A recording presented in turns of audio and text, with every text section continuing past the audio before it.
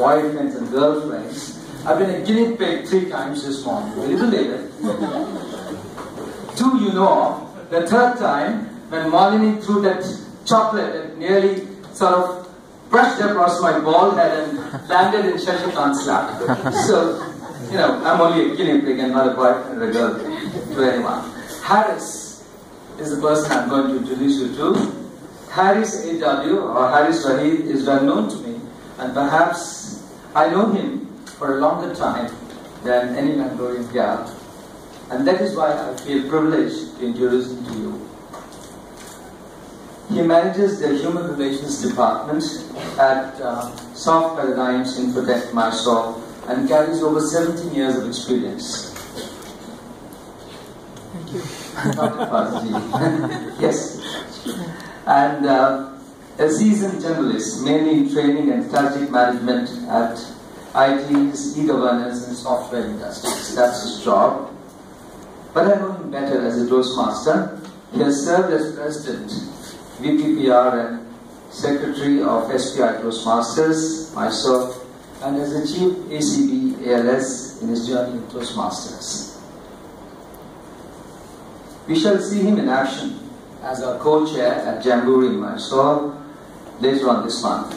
I came to know him as a very enthusiastic Toastmaster when he was an area governor. The year I was the division governor 2012-2013 when we were district HQ. He was very enthusiastic. He helped me conduct the judges training in Mysore, made arrangements for me to stay over there in Mysore, and of course helped me conduct the, the media division conference in Mysore, and some of you who participated will remember what a good host he and his team were. His enthusiasm is infectious. He was our cheerleader. Cheerleader? Yes. when our division representative at the district level in Cochin, Dr. Malini Hebbar, people are talking about Malini all the time. Perhaps this is the third time. Dr. Malini Hebbar, DTM, was crowned the evaluation contest champ in Cochin. Our cheerleader was, was Haris. And his photograph went viral within a few minutes of winning her. And I was about to, you know, get onto my mobile and tell someone, those people have not attended, that uh, she had won. They said, already know it. so that's his enthusiasm. Uh, he travels a lot. He has mentored L&T, Larsen and Toubro Club in Mysore, sponsored the SDM Club, the club that we used to talk about, which was in the ICU for a while, and he, he revived it, so he's a doctor too. He likes traveling. I've seen his photographs on the Facebook, uh, on his web page, and I did not know that he's into creative writing. Uh, he's writing a book called Arga Valley. I do not know what it is. You probably tell us about it, which is due for publishing by a big publishing company. So he's not only an avid reader, but also a writer. With his training and leadership qualities, I don't think there's anyone who would be more well qualified today to tell us about how to get into the driving seat.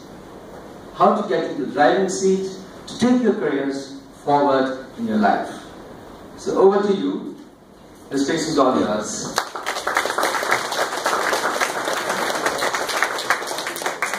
不能买。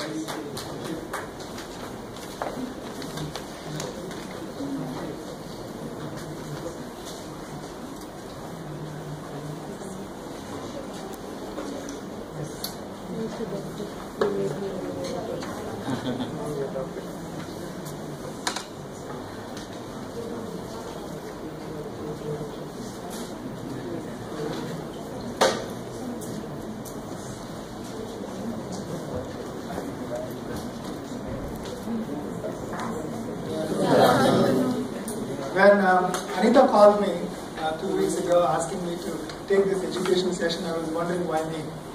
Because I have I never had an opportunity to talk to people uh, in, in number like this, and that too, one who know everything about what I'm going to talk.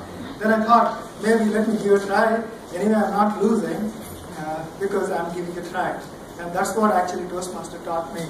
Uh, when I walked into Toastmasters Club uh, for the first time, I was wondering what people do because people uh, were in the closed rooms and they had so many things to talk about. I thought most of them are intellectual types, and since I thought I'm not someone who can closely relate to that, uh, then later when I had a chance to get into that, I realized what I got.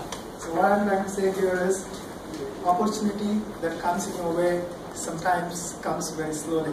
You have to be alert and you need to see whether you will be able to recognize that. Now I will give you 30 seconds, only 30 seconds, I will play a timer role. Uh, you have to do a small exercise. If you don't have a piece of paper, just imagine that you are doing something in your mind. Uh, write or draw a scenery uh, or anything that comes to you in your mind. Uh, you have 30 seconds. Write a scenery or uh, something that you think you can relate that very close uh, to your heart. You have 30 seconds. Will you do that, please? And your time starts now. If you don't have a paper, just imagine you are. You have 15 seconds to go.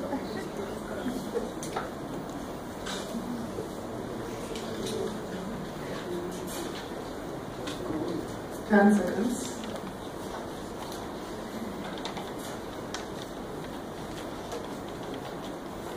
Five.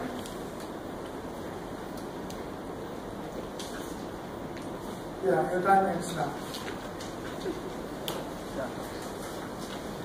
Now I'd like to ask this question to you. Do you have those two hills and, uh, and a coconut tree? A couple of birds which are flying there? And a temple? Stairs? A road perhaps? And a lake?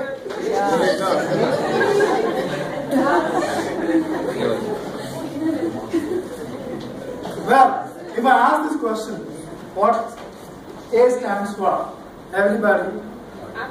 Happy. But is that the only thing that stands for A? There are a lot of things. Right? Now, what I'm trying to say here is, oh, you already went naughty. Well, how many of us are book smart? I think most of us are book smart. That's the reason why we are here. You know, we got our A's, we got our fours, and we got our uh, distinctions. Well, but is there something more? I did my master's in geology. I was very passionate about getting into something called paleontology, and later I realized, man, there is nothing that I can see. Uh, I was lost, only to discover that, well, I think I may have to switch over and I did my MBA. Till my MSc, I think the journey that I traveled perhaps has not given me anything. I'll tell you what I got from that later. I believe it's very important for all of us to be street smart as well. You saw that car, it's going to come now. What I'm going to say here is, this car is ours.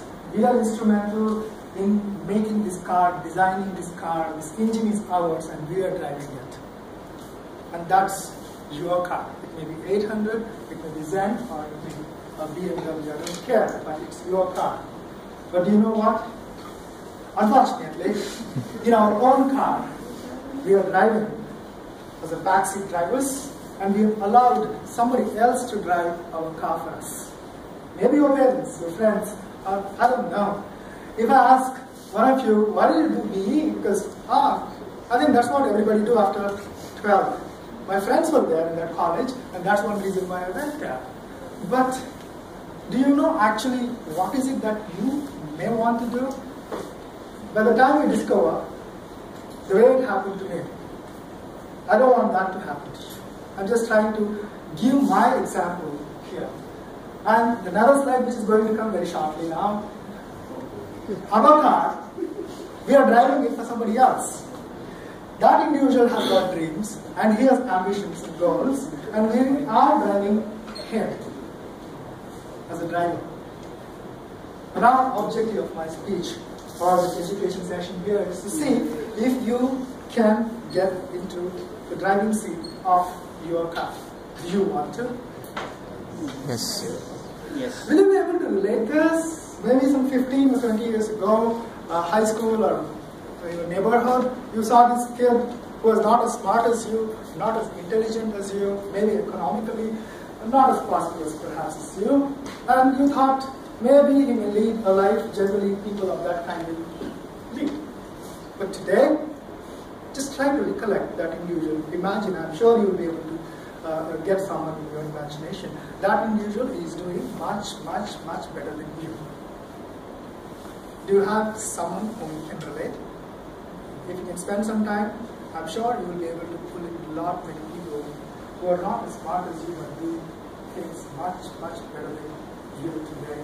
That's because they've been able to relate book smart, street smart. We all do education.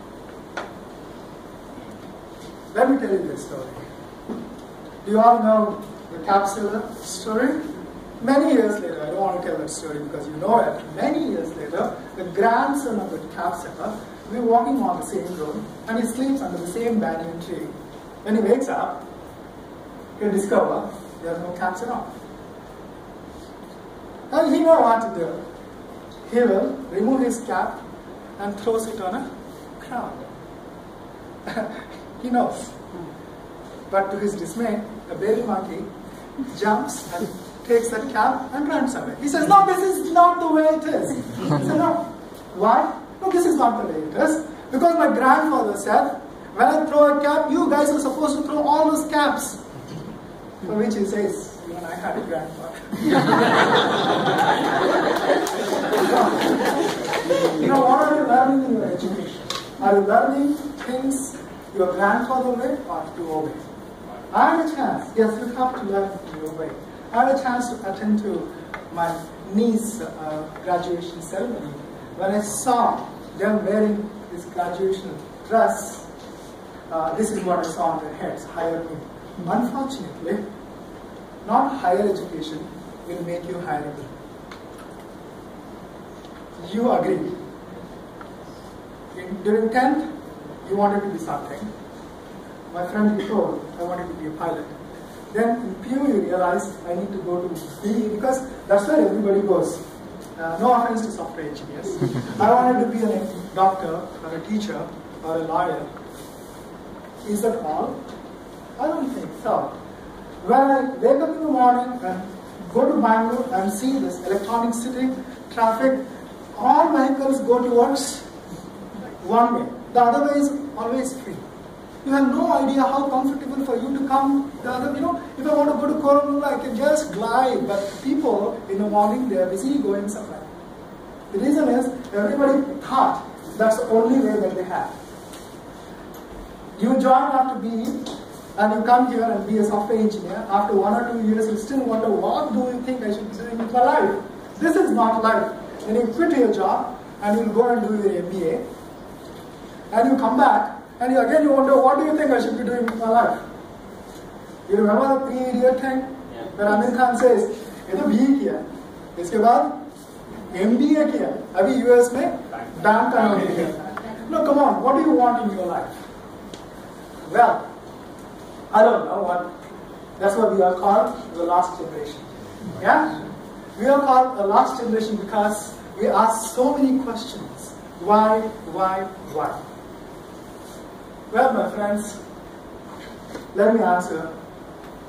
How do you think we can take control of our vehicle? The reason is, when your parents were competent, they just have to outperform somebody in the left and right. And it was glad, glad that he was not revealed my age, but he told me how many years of experience I have. During my uh, generation, I can call, I have to outperform people in my college. But here, in your case, most of the people here, I think even in my case, if I have to succeed in the future, I have to, you have to perform people of the same age across the world. And it's pretty tough, isn't it? The paradigm here is, well, the reason is the extent of things that we have learned, A for, and draw something, and what you want to do? Uh, okay, and uh, where do you think you, everything is actually told and taught to you and you think that's what the life is and that's why the traffic is so heavy. And take this example, even the simple communication, the extent that we have learned.